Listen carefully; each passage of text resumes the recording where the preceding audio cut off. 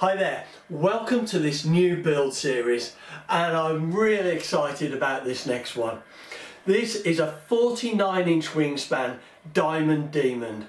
Now this is a really great looking vintage model from the 1930s.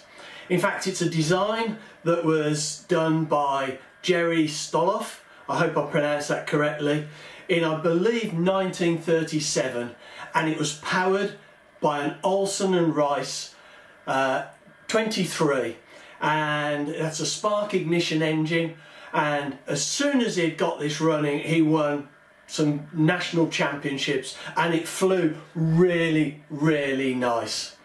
Now this plane was then kitted out by the Ridge Bay company in 1939. You can see this advert here for uh, for the kit and to be honest the image is a little bit disappointing on this because it doesn't really do the plane justice.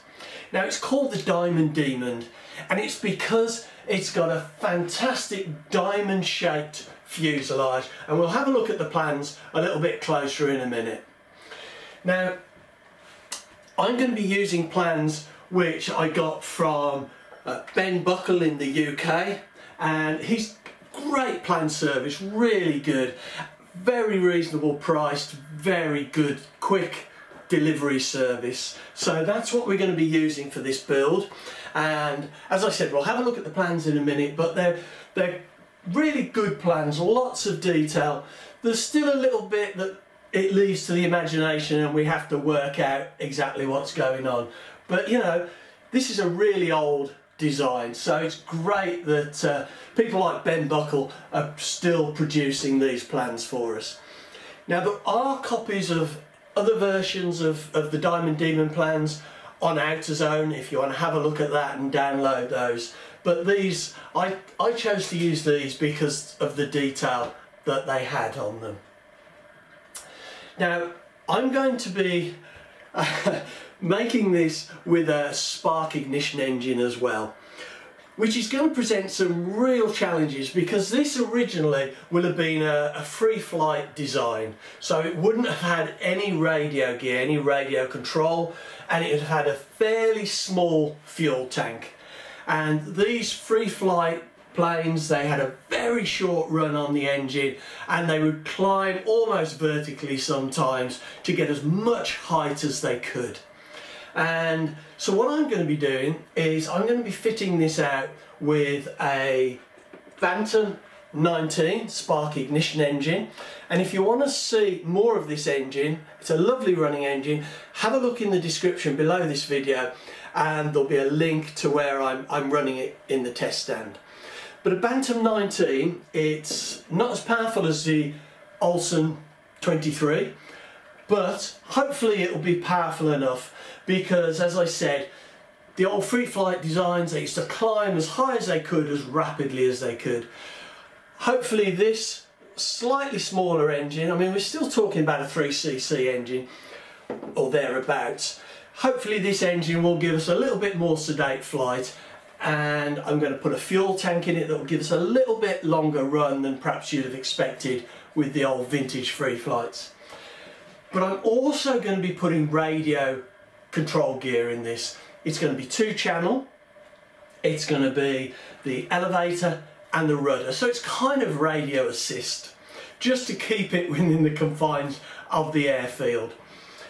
Now that presents challenges because I'm not only adding a fuel tank, I'm not going to use the integral tank that came with this Bantam 19. So I'm going to be including a fuel tank, I've got the spark ignition system and I've got the radio gear. So I'm going to need to really think ahead of, on this and carefully, not only about how I get everything in, but how I try and get a little bit of separation between the ignition equipment and the radio equipment so there's no interference. Now originally when I got these plans, I've had these plans on the wall for a few months and I've been looking at them. Whenever I'm doing a build, I've always got the next build or what I'm thinking is the next build on the wall. And I've been looking at these for quite a while before I, I move them round to here for this build. Now, originally I was thinking of doing it, it as just a, a, simple diesel and I've got a, a couple of diesel engines that I had lined up to put in this. Probably I was going to use a 1.5cc Snipe. But I've decided it would be great to do this as a spark ignition. As I said, there's some challenges and if we can't get it all in, if there's a problem, then no big deal. I can then revert to a diesel. But I really, really want to try and get this Bantam running in the uh, in this lovely 49 inch wingspan Diamond Demon. So now let's take a look at the plans. Well, as I said, a great set of plans from Ben Buckle with lots and lots of detail. And it's really interesting to see how this 1930s plane is built because it's a really old style of building. The wings, very simple, no ailerons and uh, quite a large dihedral. We've got just a single half inch spar on the bottom of the wing, nothing on the, on the top. So quite a flexible wing. We've got a fuselage, we've got this lovely diamond shaped fuselage which you probably can't appreciate from the plans but hopefully you'll see that developing in the next series of videos. Now the fuselage itself is actually based on what they call a crutch design where basically you have a crutch shape that forms the main structure of the fuselage and then you've got formers top and bottom to give it that shape, to give it that diamond shape. Now if we have a look at the build uh, steps here which are really really useful we can see that we've got the layout of how the sequence it should be built, which is really helpful. And we build this crutch first, and we've got these cross members which will correspond to the formers that go down the fuselage. I spent a long time looking at this and working out exactly how we're going to do this build. We've also got some um, uh, beech bearers at the front for the engine which are going to be glued and pegged into place. And I've started to do some of the preparation for this and we'll have a look at uh, what I've done so far and then we'll, uh, we'll get on and start to build this fuselage. I'm really excited about this build.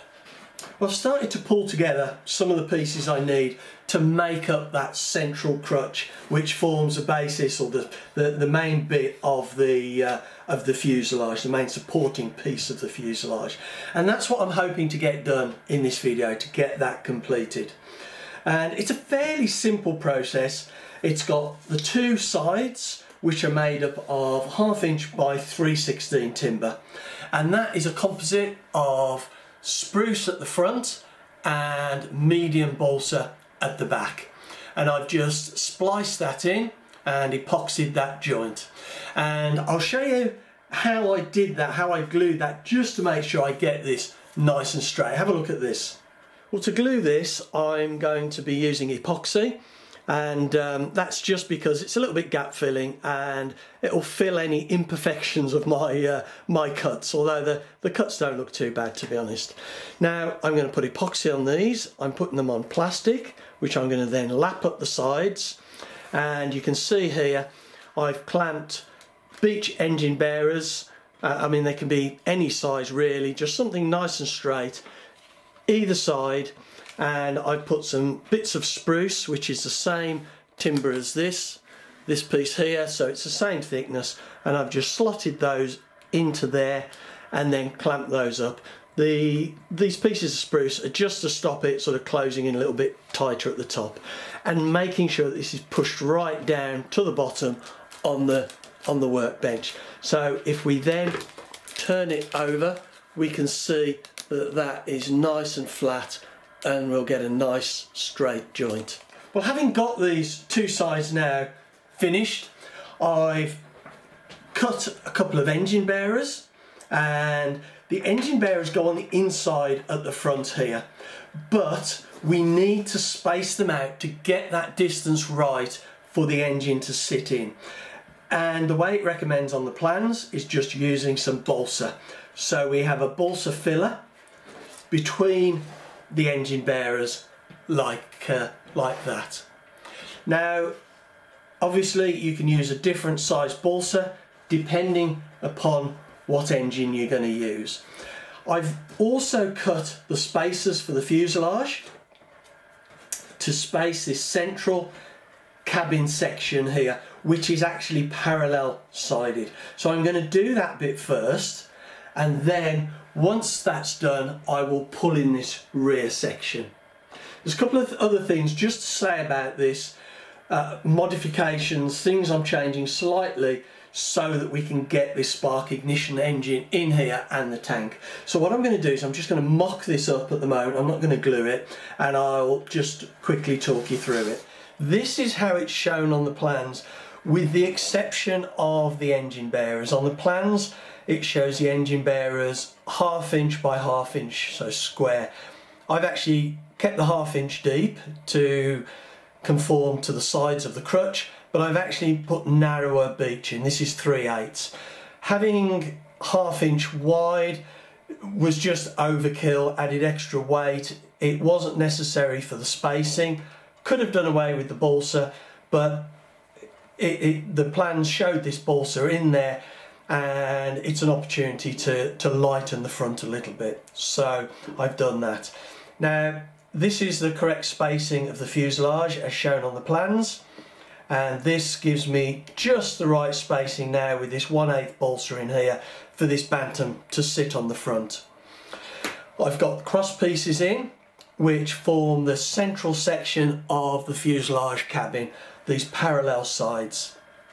Now, as I said earlier, I want to put in a fuel tank. This is a two ounce fuel tank. I want to have a, a clunk tank, something nice and sealed because it's going in the fuselage cabin with the electronics, so I don't want it leaking.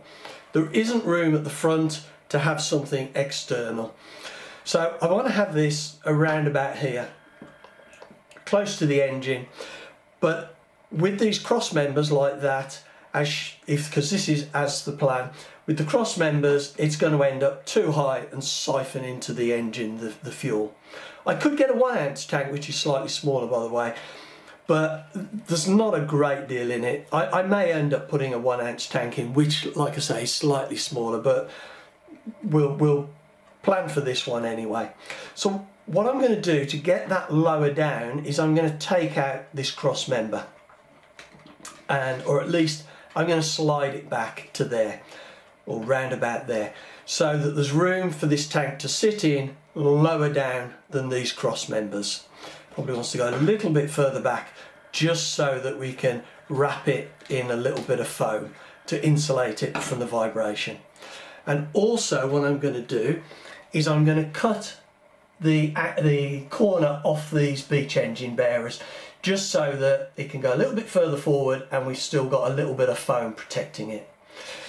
This in itself will create, moving this backwards will create an issue slightly later on when we come to do those triangular sections at the base of the fuselage on the underside because with the spacing, the original spacing, these are where those cross formers go and this will provide strength to the cross formers. So we'll need to deal with that and strengthen that slightly later on. But for now, we're going to move that back and, uh, and, and glue it there so we can get the tank in. The ignition coil and electronics can go top and bottom of the tank and the radio gear can go back here in the cabin. I want to try and get everything as far forward of the CG or around the CG as possible because we don't want to end up with this tail heavy or, or too tail heavy so we need to try and plan for that. First thing I'm going to do now is I'm going to glue, I'm going to epoxy these engine bearers and balsa to the front sections of spruce on this crutch. I'm then going to drill through here and just put in a 5mm piece of dowel that tie all this together as shown on the plans. And then once that's done we'll come back and we'll have a quick look as we glue the whole crutch together with these cross pieces. So I've now got these two sides finished for the uh, for the crutch so we can build start to build the this central crutch the main support of the fuselage together. We've got these spacers to put in and I'm going to get that glued up now. So we've got this central parallel section finished and then once I've done that I will set it up on the table and show you how I pull in the tail so that we get it nice and even coming down to a point at the end rather than being a little bit off and squiff. Right, well I've now got this parallel section of the, the crutch, the sides, glued together with these three, four uh, cross pieces. And what I've done is I'm putting a weight on the front. I'm running two straight edges down the parallel sides of this cabin area and out to the back here.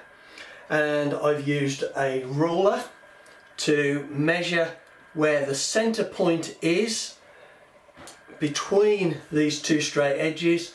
And I just drew a line here on this piece of masking tape.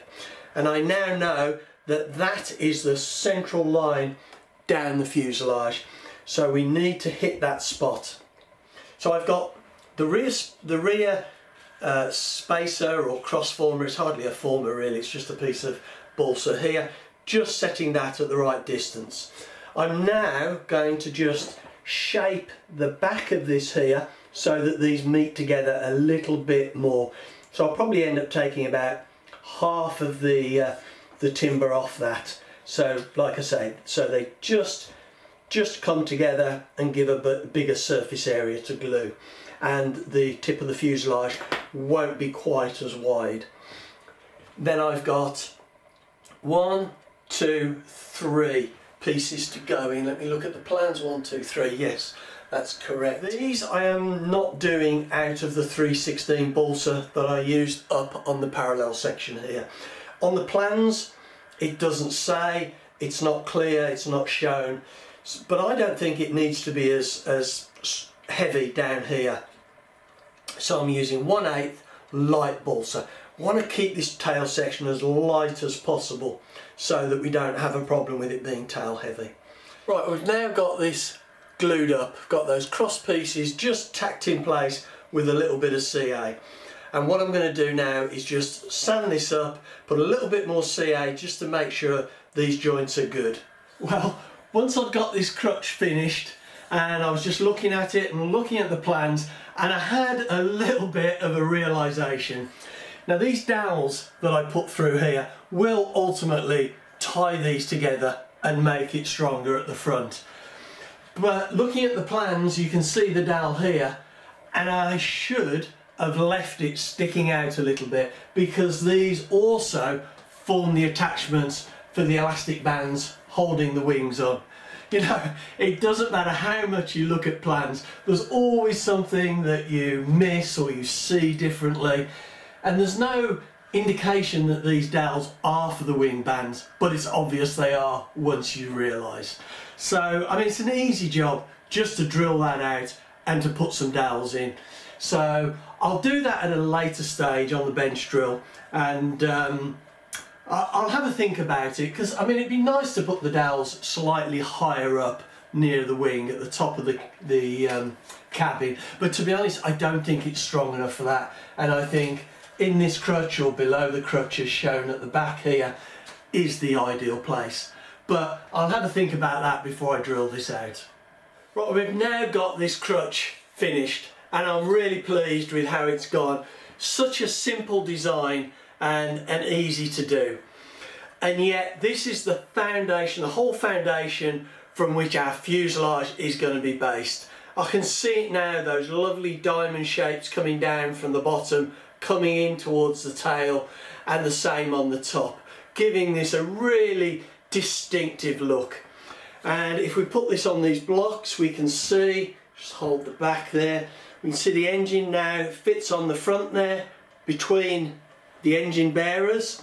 And we've got a space here for the fuel tank that just fits nicely slotted in there between those sides of the crutch. And as we've moved that one crosspiece back a little bit there's just enough room to pack that in foam to reduce the vibration. And the level of that tank now if we build a little bit of a platform underneath, underneath will be ideal. Well now we've got the foundation of this fuselage finished, I'm going to draw this video to a close. And in the next video we're going to be building up the underside of this fuselage with the triangular sections that start to form up half of that diamond, the diamond demon. And that is going to be really exciting when this suddenly starts to take shape. And I can see it now in my mind's eye and uh, I can't wait to get on with it. So anyway, I hope you've enjoyed this video and found it useful. Please come back and see how we get on continuing the build of this 49 inch wingspan Diamond Demon.